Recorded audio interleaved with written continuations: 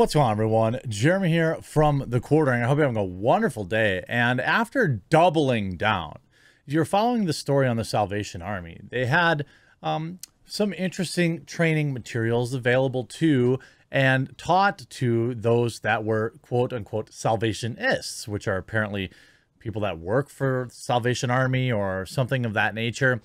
Uh, they had this whole guide called Let's Talk About Racism and in that guide, they had all the kind of typical woke language that you would that you've been seeing that you would see on a place like Twitter.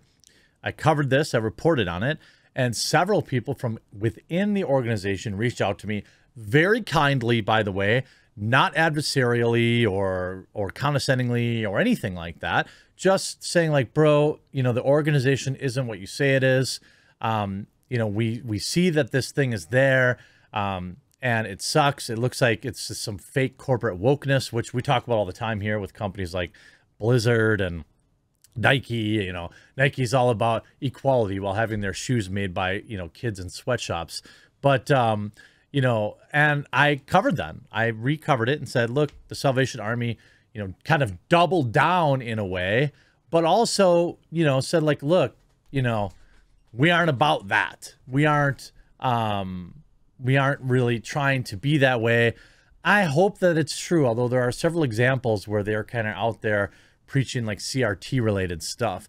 However, they have now quietly withdrawn the guide that in fact did ask their white supporters to apologize for their race. The group has withdrawn the controversial guide amid backlash from donors.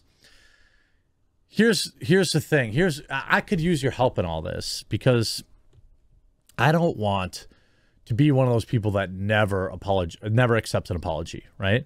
I don't think that that's healthy.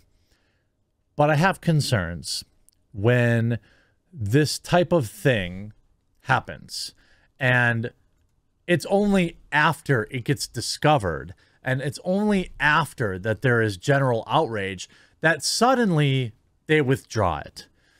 We saw this and have seen this many times with uh, school. Like because of Zoom, parents, because of Zoom and working from home, really, parents became far more involved in their their kids' schooling, and rightfully so. I mean, a lot of people could argue that a lot of parents, not all, a lot of, uh, were asleep at the wheel. But now that they're working from home and they're listening to their their teachers, the kids' teachers, and some of the things that they're saying, now you have parents showing up at school board meetings. Do I want to, do I think it's beneficial to admonish the parents for just waking up now? Or do I think it's better to focus on the fact that, all right, we're here now. We're looking into the stuff that our kids are being taught. And I think that that's the better thing to focus on. I think that it'd be better to focus on getting cameras in every classroom for parents to be able to see what is being taught at any given time. Because there's just far too many examples of insanity being taught to kids. Um, now with the Salvation Army, again, with their red kettle uh, that you'll see everywhere, I, I here at least here in the United States, outside of every grocery store, at sporting events and malls, people ringing their bells, good-hearted, great people out there donating their time for free to raise money for those in need, a few pennies at a time, pocket change at a time. And by the way, it's even more difficult nowadays because nobody carries cash and money around.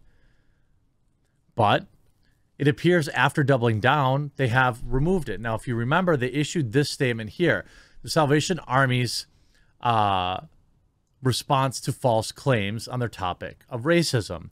Now, I'll get to the update in a second here um, because that is important.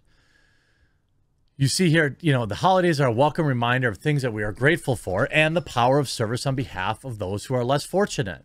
The Salvation Army mission statement clearly outlines the nature of our service to preach the gospel of Jesus and meet people's needs in his name without discrimination. The beliefs that motive our motivate our service are based solely on the Bible and that will never change. Look, regardless of where you're at in personal like religion and that kind of stuff, I think we could all agree that these are good causes, that helping people um, you know, regardless of their skin color is something that we can all agree on is a good thing. Um, you know, there are a lot of people in need, a lot of people that need help, especially around the holidays, and a lot of kids, you know, that didn't ask for certain situations to be to be brought up and uh, brought up in, and there they are. Now, the Salvation Army occasionally publishes internal study guides on various complex topics to help foster positive conversations and grace filled reflection among Salvationists. By openly discussing these issues, we hope to encourage the development of a more thoughtful organization that is better positioned to support those in need. But no one is being told how to think, period. In this case, the guide, Let's Talk About Racism, was issued as a voluntary resource but it has since become the focus of controversy. We have done our best to provide accurate information, but unfortunately, some have chosen to ignore those efforts. At the same time, the international headquarters realized that certain aspects of the guide may need to be clarified. Now, this is as close as you're going to get to an apology from a corporation or really from anybody who's been caught red handed, you know? In this particular case, I would argue that um, what they're really saying here is we're not going to apologize, but also we were wrong. When they say there are aspects of the guide that need to be clarified, uh, they mean changed. And we know this now because they've issued an update. Elements of the recently issued Let's Talk About Racism guide led to some believe that we think they should apologize for the color of their skin or that the Salvation Army may have abandoned its biblical beliefs for another philosophy or ideology. That was never our intention, so the guide has been removed for appropriate review.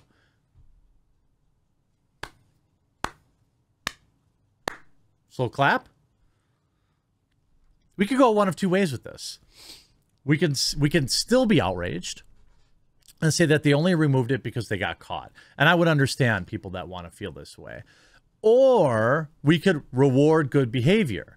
You know, ultimately, if you don't forgive when people do this stuff, then they have no incentive to change their behavior.